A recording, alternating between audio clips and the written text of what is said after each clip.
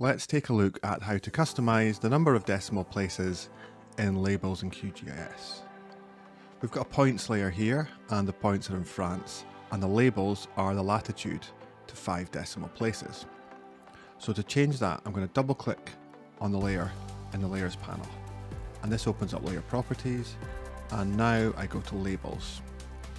The value it's labeled with is currently the lat field, so that's latitude. But to customize the decimal places, we're going to click on the expression button. And we're going to use an expression for this. So we type in format underscore number and open brackets.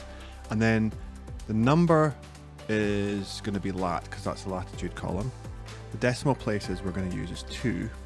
And because this is France, we're going to use the format for labeling uh, for decimal places as France, FR.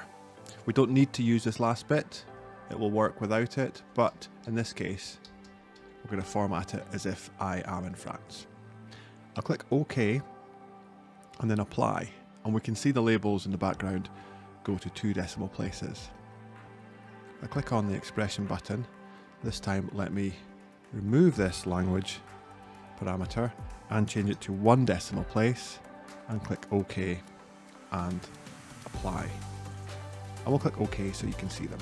So that's how you customize labels with however many decimal places you like in QGIS.